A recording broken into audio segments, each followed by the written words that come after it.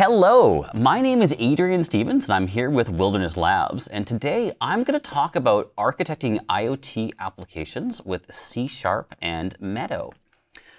Now, you've probably seen a lot of videos already about Meadow and hopefully you've seen some of the really cool things the team has done with you know, cloud integration and building you know, industrial grade sensors and, and systems. And you might be wondering, well, how do I bring all that together in a scalable pattern where I can make maintainable, updatable, and reusable applications using Meadow and, uh, and C Sharp? And that's what we'll talk about today. Now, we're all, you know, us in the .NET world, you know, we've come from a lot of really great frameworks. You know, I'm a big mobile guy, did a lot of Xamarin work, uh, love MAUI. And in those frameworks, we think a lot about abstraction and code reuse and separation of concerns.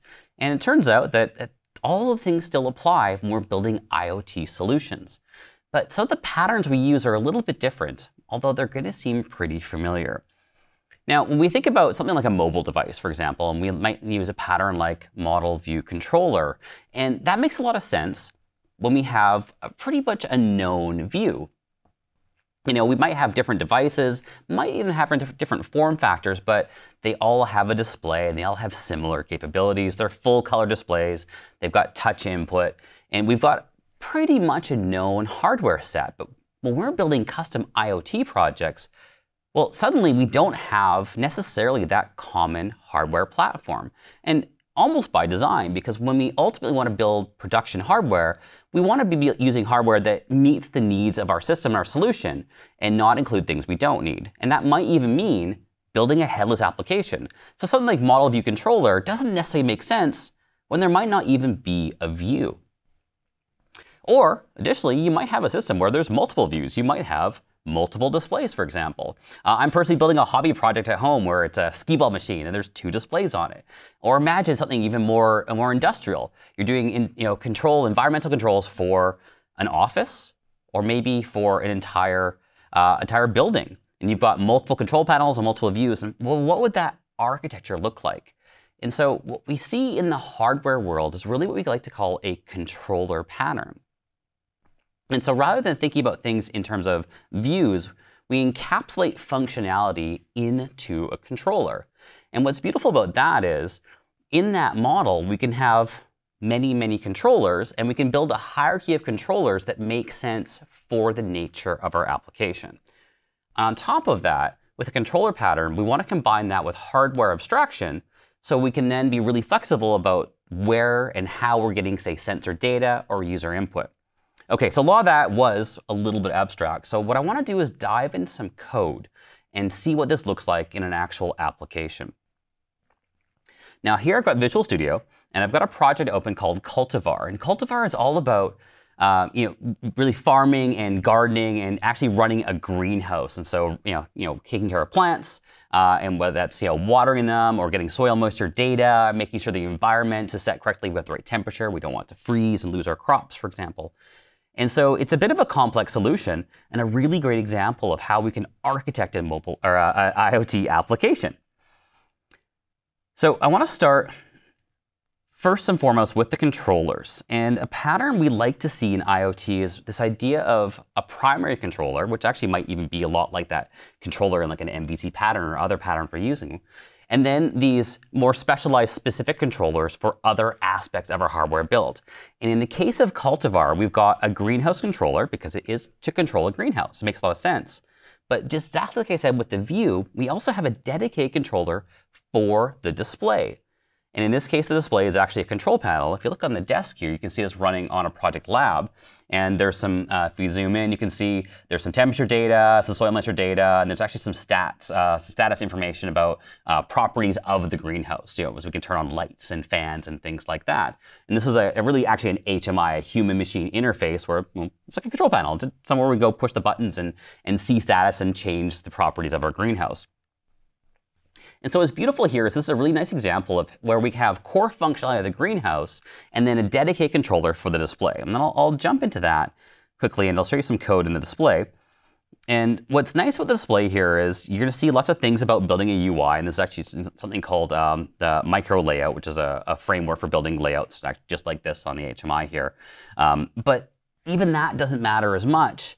What's important here is this is C-sharp code for drawing to this screen. And if we look at the dependencies, we instantiate the display controller, we're passing in here is actually an abstraction. In this case, it's an iGraphics display. It's an abstraction that represents a display. And so this controller doesn't need to know about all of the aspects of the overall build. It's focused on updating the display. And then if you go through, you'll see some specific methods about sending data to this controller so it can then render and then return events back to the core greenhouse controller. And if we look at the greenhouse controller as well, we jump in and we'll see it then owns an instance of that display controller. Let me zip up to the top here. And you can see here, the primary controller, the greenhouse controller, owns the display controller, and then it also does some cloud logging as well, so sending data up to the cloud.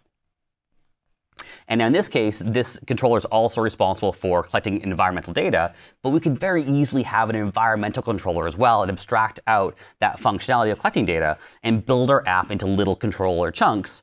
So again, it's really easy to scale, maintain, and understand the overall structure and flow of our application.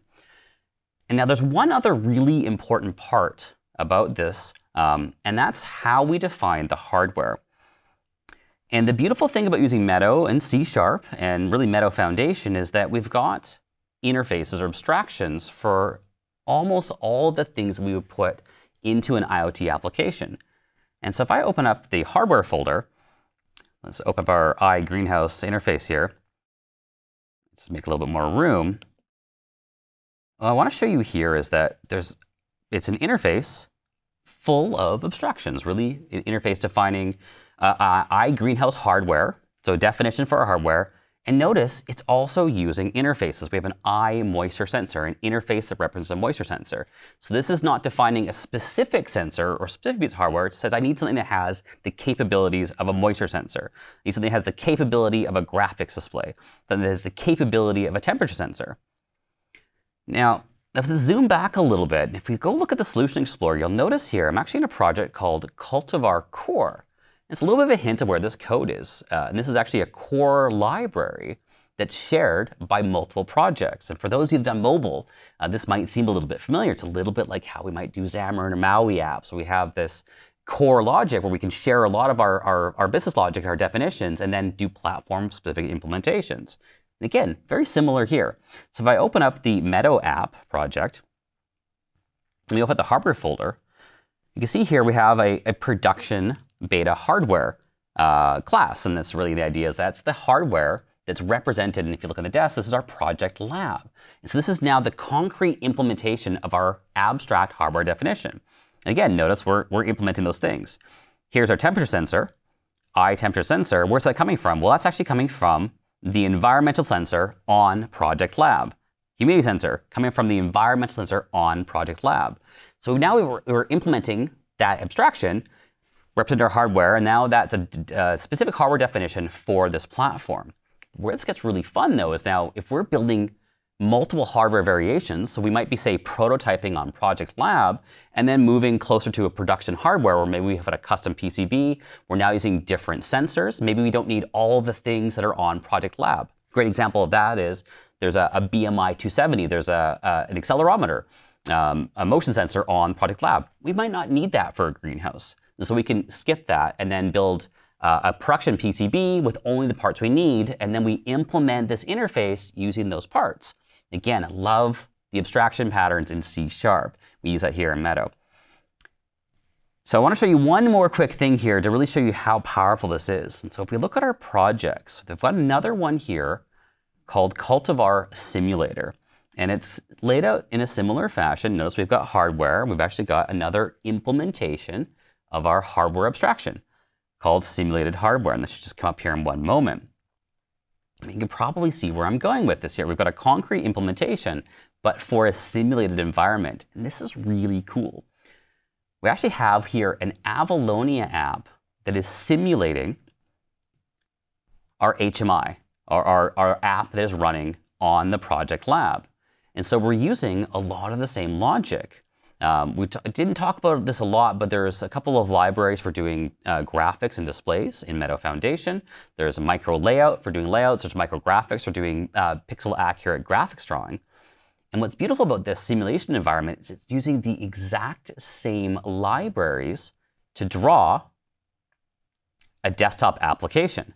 And so this is now simulating, and it's using the exact same code as the code running on Project Lab, which is running on a microcontroller. How amazing is that?